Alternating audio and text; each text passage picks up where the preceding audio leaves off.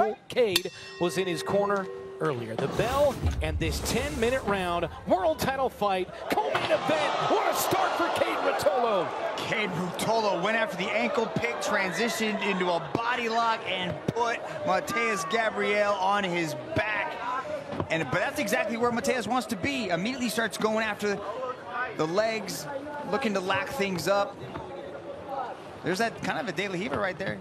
Single X. And make no mistake, Gabriel, over the last two calendar years, his record is 31 and 2. All he does is win as well. Yeah, very good submission attacker. Very active off his back. There's Kade threatening a straight ankle lock. You know Gabriel ain't gonna fall for that. 17 straight wins coming in for Kade Ruotolo, the last five by submission. Ruotolo's tried a knee slice through the guard, but like Rich was saying on the walk, man, Gabriel has just such an amazing guard. It's so difficult to pass it. And look at that, slides around the back. There's the... He, yeah, Gabriel, he used that De La Riva to almost set up the back take right there. And this is what I was talking about. Gabriel having that guard that's just a puzzle that's going to be difficult to solve in this 10-minute time limit. Good job by both guys to maintain neutral position. You can see Kade, Gabriel trying to reach up, disrupt the posture of Kade. Kade does a good job of maintaining upright posture. Yeah, he's just the one that he's grabbing the back of the head, disrupting the posture so that he's just spinal manipulation, hoping that Kade will pull back hard, get himself out of position, setting something else up you know, maybe Matheus is looking for a leg off of that. He'll just flow from one thing to the next. We mentioned it's a family affair. They've already got one $50,000 bonus earlier tonight with Ty's victory.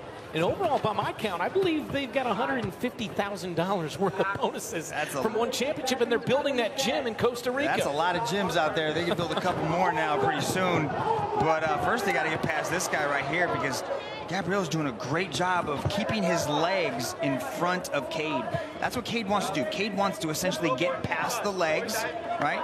And Gabriel wants to attack, set up different submissions from the bottom position here and he's doing a great job of just holding on to the legs. And that's the thing about no gi, right? In the gi, you have all the, the basically the uniform to hold on to, yeah. right, to create your attacks. But in no gi, you have to grab legs and arms and heads, and it creates a whole different game. You know, one of the elements of this match we didn't talk about was Matheus actually dealing with the cage and whether or not that would disrupt him. And Kade came across, picked him up, slammed him right on the cage, and Matheus has pretty much had contact with his head with the cage the whole time, but we haven't really, he's not like making the effort to get away from it. It doesn't seem to bother him. I mean, we saw the way that Kade used the cage the first time that he fought, where he was actually jumping off the cage against Shinya Aoki to get into, you know, to take eventually take the back. But uh, Gabriel says that he's trained inside um, the cage before, but he's also worked a lot up against the wall, which is a different feel. You know, the wall is not the same as the cage. Yeah, it's it's it's padded and it doesn't hurt as much. yeah. Again, this thing ends with a submission or the most legitimate attempts at a submission over the course of 10 minutes, which again, 10 minutes doesn't sound. Straight ankle lock. See, Kade's trying to, you know, utilize um, the guard that, you know, uh, Gabriel is using against him by every time the leg comes up, he's trying to lock it up and go for a straight ankle lock. That's really tough to position. Yeah, but even, even if he finish. knows he may not get that, like it could be possibly that he gets, locked, gets it locked in deep enough that the referee here would call a, uh, a catch. Yeah. If he can hold him down, but Gabriel's got so act, there's so much activity going on in his guard. Like he's always moving his legs and he's staying very active. Back to the feet they go. Ruotolo, the champ. Gabriel there's that ankle pick that Kade likes to do. It sets up the body lock or the double leg. Looks like he could have got poked in the eye right there. Gabriel says, you're good to go, and Kade acknowledges. Mutual respects as we near the midpoint of this 10-minute bout. Lightweight submission grappling world title on the line. First defense of it for Kade Ruotolo, the 19-year-old Born in Hawaii, grew up in Huntington Beach, California, now lives and trains out of San Diego as well. Has a lot of time in Costa Rica. You can see from the last two guard drops that Mate- guard drops that Matheus had that it's not much different than the slam that started the match. Well, you can't pull guard now anymore in one championship grappling rules, so that's really important that you can't just sit down and try to attack. You have to aggressively pull your opponent onto you if you want to pull guard. Mitch, I wanted to mention, 10 minutes doesn't seem like a lot, but how tired are these guys now at the exact midpoint right now? Well, these are world-class grapplers, bro. So they've been No doing this their entire life, so I doubt that they're going to go too tired, but that's another, it looks like he's possibly going for a heel hook right here. Matheus could be in trouble. Going for the heel hook. Is Kade Ruotolo the champ? And the referee's called a catch on this, I do believe, so now he's scored. Now he's trying to work his way into a knee bar, but Gabriel Got the score, but couldn't get the finish just yet with four and a half minutes remaining. Now his knee wasn't necessarily quite in this the right position, so I don't know if he could have been finished, but it could have been the heel hook that could have been caught as the submission attempt. So Ele já deu o catch, você vai ter que atacar. Kade doesn't seem too concerned here with his left leg. Bora atacar, Matheus. Kade is basically giving, he's, he's, he's hipping in and giving him his leg, saying, go ahead, take something. Give me something to work with here. Like, hmm. he, you could tell he's getting impatient. He, you know, what set up that, the, the heel hook or the ankle lock that he had before was he, he flipped over Matheus's guard in an attempt to do something. And so Kade is just like, come on, give me something. Give me something, and, I, and I'll take that and go with it. it's really interesting to watch the way Kade uses his legs. Like he uses his legs to peel off the legs of Gabriel, which is, you know, it's like he's got four arms down there. Like he's so good at moving his arms. I love the way that Kade, and you'll see him do this constantly, stepping on uh, the leg of whoever's in guard for control so that they can't move their hips. I want to mention Mitch again. 58 pro fights for Matheus Gabriel. He's been submitted just one time. Yeah, and that's at black belt, right? That's not counting the hundreds of other times that he competed as a brown belt, purple belt, blue belt. You know, so this is just his black belt record, and that's a lot of matches in a very short period of time. But Kade's, you know, finding a way to make a really big name for himself here. 310 to go in the bout. First defense of the world title for Kade Ruotolo. See, Matheus was going to take the back there. Kade got a little out of position, but Kade made the quick adjustment right there. And Matheus is not letting go of that arm. Looks like he was trying to go for an omoplata, but great defense from Kade, not to really let it set in. Se quiser atacar Little blood coming from uh, below the right eye of essa Kade. 240 left.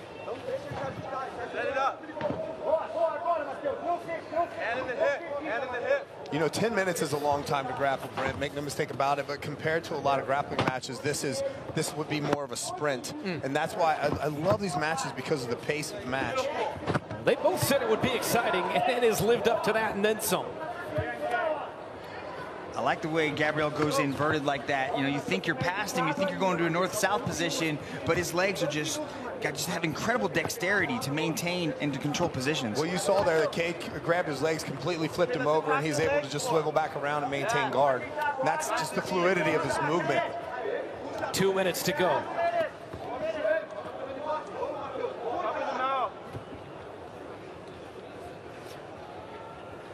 But 10 minutes is not that long to work, Rich. You spoke about it. You know, usually these matches are sometimes when they're really high-level grapplers, they don't have a time limit. They just let them go until there's a submission. Tell you what, Mitch, I'm gonna put you on the mat with Kade for 10 minutes, and you tell me that it's not that long, all right? Dude, we I'm gonna ask grappled. you. I'm gonna ask you at the end of that. I'm getting Dude, he got me done in like it was it was ridiculous. Actually, it was ridiculous.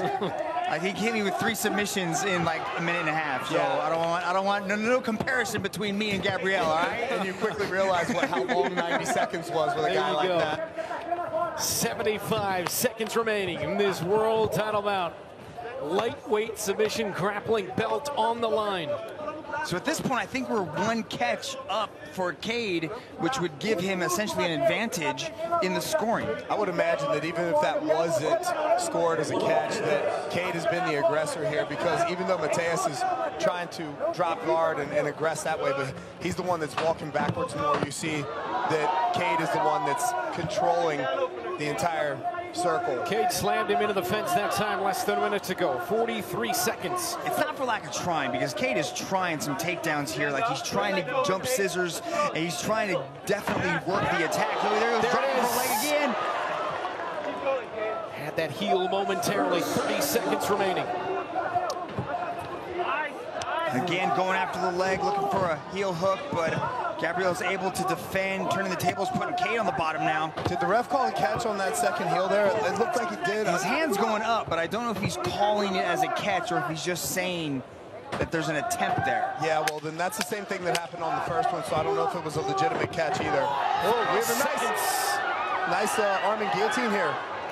As this world title fight comes to an end here in Manila, good show put on by Kade Ruotolo, the American, and Matheus Gabriel from Brazil.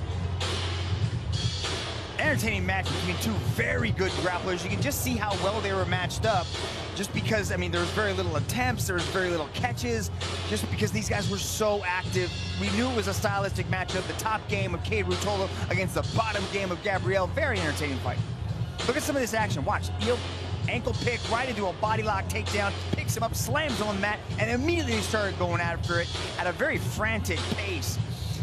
Look at the strength of Matheus there when Kade picks him up. He just holds his guard and says, all right, I'll sit up with you here. But this is what I was talking about, about that flip there. The Kade uses that flip in the scramble and catches this heel hook here. Now, it looks like the referee is calling catch there uh, as well as at the end, but Matheus has got this situation completely under control. This is not something that any normal grappler would have completely under control, but he's able to just slowly, slowly inch his knee out of the fulcrum of the pressure there.